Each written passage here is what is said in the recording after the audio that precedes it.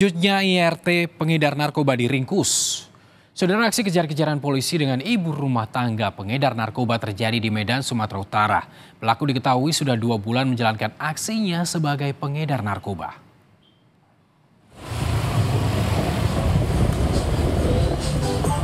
Aksi kejar-kejaran antara polisi dengan ibu rumah tangga yang diketahui merupakan seorang pengedar narkoba terjadi di kawasan Sukarame Medan, Sumatera Utara.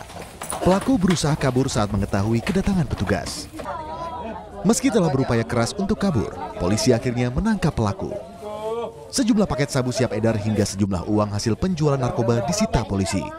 Satu wanita diamankan beserta barang buktinya yaitu berupa paket sabu.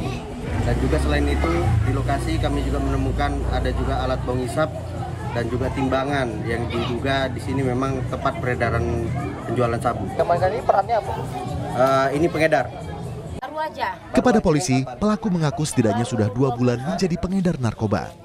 Pelaku masuk dalam target operasi setelah polisi menerima laporan dari masyarakat yang resah dengan aktivitas pelaku. Atas perbuatannya, pelaku kini terancam hukuman lebih dari lima tahun penjara.